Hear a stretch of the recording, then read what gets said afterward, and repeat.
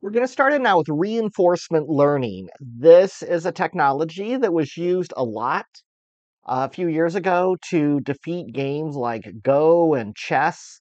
Now they're the, these games are completely dominated by computers as absolutely the top playing entities in the world. Reinforcement learning is also used for entities like self driving cars and others where you have a lot of training data available we'll take a look first of all at Gymnasium. This used to be called the OpenAI Gym, and OpenAI has moved a lot more towards generative AI. They don't seem as interested in reinforcement learning anymore. So Gymnasium is the is the one that they offloaded it onto. And we're going to look at this this technology. Gymnasium basically allows you to use the games, the kind of interactive video sessions that you typically train this on. We'll see that we can train this on Atari games and other other sorts of of games. So when dealing with open with uh, gymnasium environments and really anything related to reinforcement learning, you have a number of things that you deal with. There's the action space, these are the things that you can do. Often these are discrete values, like move a joystick up or down, left or right, but there is possibility also to use continuous values. Maybe how far you wish to push the accelerator down on a, on a car. Then there's the observation space. This could be an image of what the car or the game currently looks like. In the case of some of the Atari games, it's the actual memory of the like RAM of the computer game. Really, anything that provides information on the overall state of the game that the reinforcement learning is learning. The agent, that's the player inside of it that is moving up, down, left, right, going about its its business. An episode is that's a collection of steps, like one one play of the game or some some sequence of time. The renderer uh, is what's going to draw what it actually looks like. We can convert these into full videos if, if we like to. The reward is some sort of positive reinforcement, letting the agent know that it's doing particularly well. And for some of these, they are non deterministic. So there will be a random element in terms of what's going to happen. Some of these games, for example, uh, it, there are random elements in there, and the agent needs to learn to be able to deal with this randomness. Now, to install Gymnasium, we'll run this. I am going to go ahead and jump into Colab so that I can actually run these. You'll run this cell first to just make sure that everything is installed that you need, mostly installing Gymnasium also, with the Atari ROMs, the ROMs are the cartridges that were in these Atari games. So we accept the license and we also install Atari. Right, that is completely installed. So let's create a little function here that will query an environment. I'm going to use this multiple times, and it's going to tell me the action space, the observation space, uh, and just kind of some general information on an environment we can run it for the mountain car environment, and we will see that this is an environment that we're going to make, make use of. So the observation space is basically a, a box that gives you several uh, vectors here, and the uh, maximum ep episode length is 200 frames, so it doesn't give you too much time to achieve the mountain car, and we'll see what that means in a, a moment. It is not non this is like a double negation, so it's it's predictable.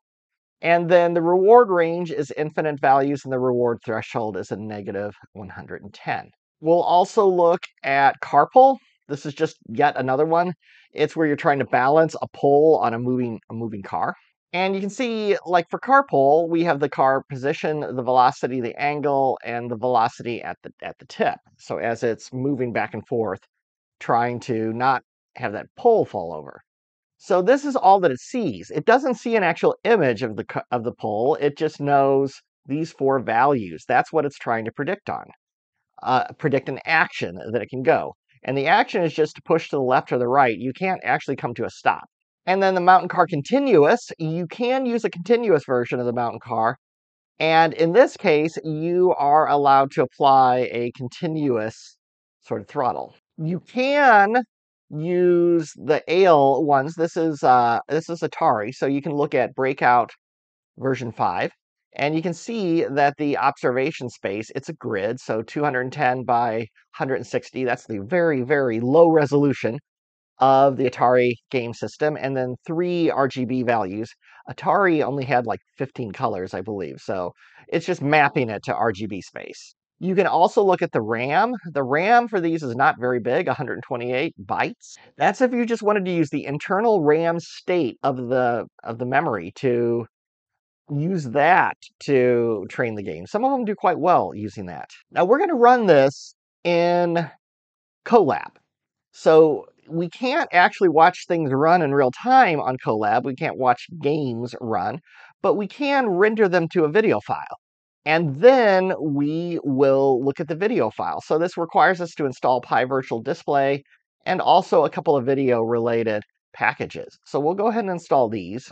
All right. And sometimes this one doesn't install with the others. So I put it separately. It seems to be okay. So what we're going to do here is run Atlantis. I used to rather like this this game. I was very very young when Atari came out, but this was kind of a fun a fun game. Ships come by and try to blow up your underwater city here. So we're going to go ahead and run it. What's going on here is we're creating our virtual display. It's going to be whatever resolution you want, higher or lower. Remember, the Atari games themselves are quite low resolution. We get the environment. We set the render frames at, again, whatever we want and we wrap the environment, which is done here with the record video. We call reset just to bring the environment back to the very, very beginning. It's like pushing the reset button on those old video game systems. And then we're going to run the environment until it's done. You get the terminated and truncated. Those are the two that tell you if it's finished or not. Older versions used to be just done, but this is this is a recent, very breaking change that they that they made. So if it's terminated or truncated, then stop. Then we basically look for the MP4 file that we just wrote and we, we display it. And then you can watch it play Atlantis.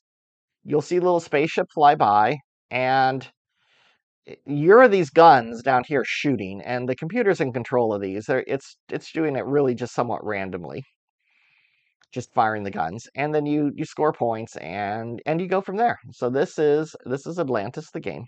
And if you look at the code you'll see that we're getting back a number of values here. Observation reward terminated truncated and info. These become very important in the coming videos. Observation this is basically the the screen.